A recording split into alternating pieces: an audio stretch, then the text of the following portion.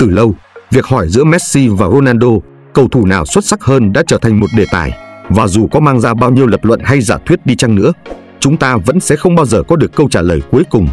Và cũng chính bản thân Mueller trước đó khi được hỏi về vấn đề này cũng bày tỏ việc lúng túng trong việc chọn lựa.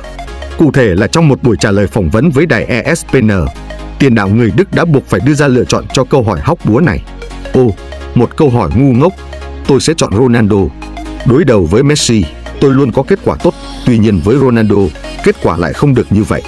Và sau trận đấu tại vòng 16 đội Champions League ngày 9 tháng 4 giữa Bayern Munich và Paris Saint-Germain, niềm tin cho lời khẳng định này của Müller càng trở nên mạnh mẽ hơn bao giờ hết khi anh tiếp tục trở thành kẻ ngáng đường vĩ đại lên hành trình tìm kiếm vinh quang của Lionel Messi. Chúng tôi luôn chơi tốt khi đối đầu với Lionel Messi ở mọi cấp độ và có những kết quả ủng ý.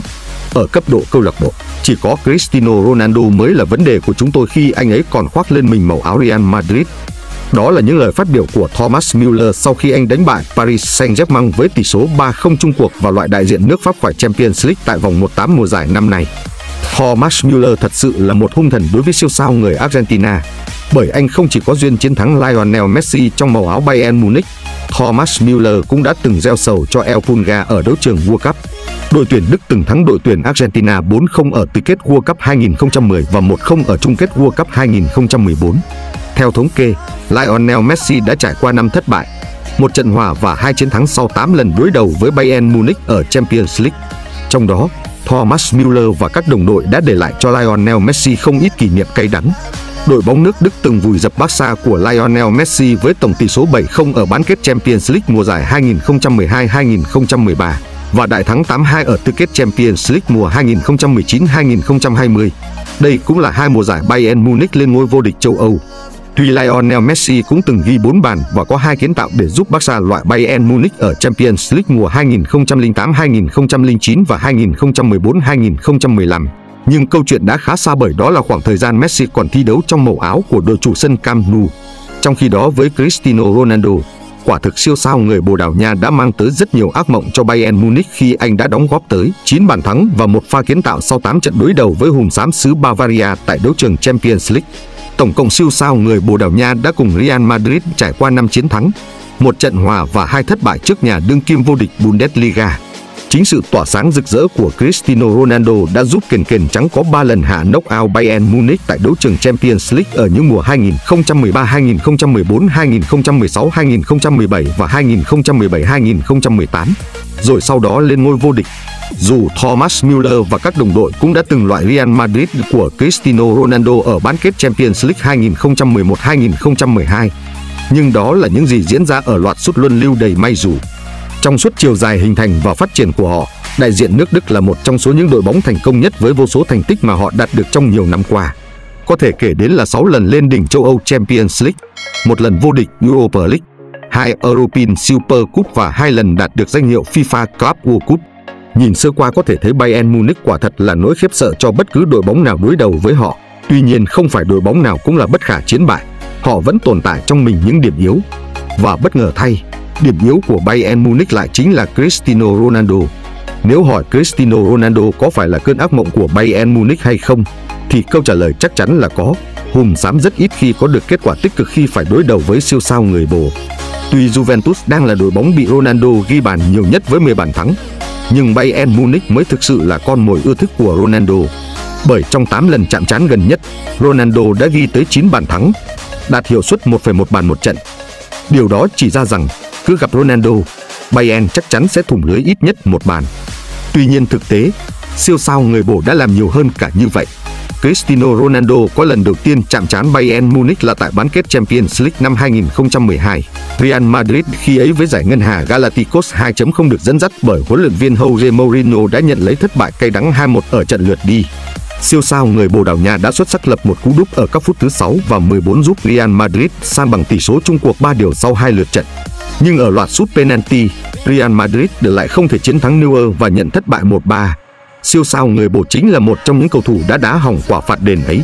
Hai năm sau, Ronaldo và Real Madrid tiếp tục gặp lại Bayern Munich trên đấu trường cúp Champions League và lần này họ đòi nợ thành công hùm xám xứ Bavaria bằng chiến thắng thuyết phục 5-0 chung cuộc sau cả hai lượt trận. Và Ronaldo tiếp tục lại có một cú đúp khác trước đại diện đến từ nước Đức tại chính sân nhà của họ, Allianz Arena. Tại bán kết lượt về, sau khi Ramos lập cú đúp đánh đầu ở phút thứ 16 và 20 giúp Real Madrid tạo cách biệt 3 bàn thắng với Bayern Munich, thì Cristiano Ronaldo sau đó với cú sút chính xác tại phút thứ 34 và cú sút phạt hiểm hóc phút 91 lần nữa gieo rắc nỗi kinh hoàng cho hùm xám xứ Bavaria. Nhưng nỗi ám ảnh của Bayern Munich lên tới đỉnh điểm là khi họ gặp Ronaldo và các đồng đội tại vòng tứ kết mùa giải 2016-2017, khi Ronaldo ghi tới 5 bàn vào lưới Bayern Munich. Ở lượt đi, Ronaldo lập cú đúp giúp cho Los Blancos ngược dòng ngay tại Allianz Arena với tỷ số 2-1. Còn tại lượt về trên sân Bernabeu, cú hat-trick của CR7 mang về chiến thắng 5-2 chung cuộc cho đoàn quân của kền kền trắng. Tới mùa giải 2017-2018, lá thăm may rủi lại đưa Real Madrid đi gặp Bayern Munich một lần nữa tại bán kết và đương nhiên rồi. Kết quả cuối cùng vẫn là Cristiano Ronaldo cùng Real Madrid giành chiến thắng. Ở cặp trận này, tuy Ronaldo không ghi bàn nhưng anh được chơi trọn vẹn đủ 180 phút, góp công không nhỏ trong chiến thắng 4-3 sau cả hai lượt trận. Đây cũng là bàn đạp giúp Real Madrid cùng Ronaldo đã phá giải thành công lời nguyền nhà vô địch Champions League sau khi giành chiến thắng 3-1 trước Liverpool tại trận chung kết. Không phải tới tận hiện tại, Bayern Munich mới nhận ra được sự nguy hiểm mà Cristiano Ronaldo đã từng gieo rắc cho họ. Nhưng vấn đề là hùm xám trong suốt nhiều năm đối đầu lại không thể tìm ra lời giải đáp cho bài toán mang tên trung phong người Bồ Đào Nha này. Cựu huấn luyện viên của Bayern Munich, ông Jupp Hinkos từng phát biểu về Ronaldo khi Bayern Munich của ông phải đối đầu với Real Madrid tại Champions League mùa giải 2017-2018. Cristiano Ronaldo cùng với Lionel Messi là những cầu thủ tài năng bậc nhất thế giới thời điểm hiện tại. Ronaldo luôn quyết đoán và tạo ra những khoảnh khắc khó tin. Bayern Munich phải làm nhiều điều để ngăn chặn cậu ấy. Hy vọng Ronaldo sẽ không có phong độ tốt nhất trong cuộc đối đầu sắp tới. Quả thật đoàn quân của giúp Hinkos đã không để cho Ronaldo có cơ hội ghi bàn. Tuy nhiên chính bản thân họ cũng không thể đánh bại đội bóng của siêu sao người Bồ để giành chiến thắng. Điều đó cho thấy một nỗi sợ mà chính Bayern Munich cũng không thể nào có thể diễn tả được. Rõ ràng họ đã ngăn cản được Ronaldo ghi bàn rồi, nhưng chiến thắng cuối cùng lại không thể thuộc về họ. Thomas Müller không sai khi nói rằng anh và đội bóng của mình không vui khi phải gặp Cristiano Ronaldo bởi những trận thua mà Bayern Munich đón nhận trong suốt nhiều năm qua. Tiền đạo người Đức đều góp mặt trong những cuộc đối đầu ấy. May mắn cho Bayern Munich khi hiện tại Cristiano Ronaldo đã không còn thi đấu tại đấu trường châu Âu nữa. Chính vì vậy, cơ hội để Müller và các đồng đội có lần thứ bảy nâng cao danh hiệu này ở các mùa giải tiếp theo là rất lớn. Và nếu có thể thực hiện được điều này thành công, Bayern Munich có lẽ nên cảm ơn Paris Saint-Germain khi họ đã từ chối mua Ronaldo tại kỳ chuyển nhượng hè vừa qua. Còn với Paris Saint-Germain, bị loại khỏi Champions League, đại diện nước Pháp chắc chắn vẫn còn đau đáu khi ước mơ vô địch Champions League của họ đã tan thành mây khói tại mùa giải năm nay. Bayern Munich quả thực đã mang tới rất nhiều ác mộng cho những đội bóng mà Lionel Messi từng khoác áo và không may mắn khi Paris Saint-Germain là đội bóng tiếp theo nối dài chuỗi danh sách ác mộng này.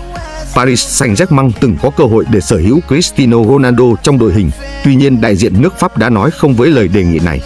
Giả sử nếu Paris Saint-Germain có được Cristiano Ronaldo trong đội hình của mình trước cuộc đối đầu với Bayern Munich tại tháng 3 vừa qua, có lẽ chính Paris Saint-Germain mới là những người đã có được tấm vé đi tiếp tại vòng tứ kết.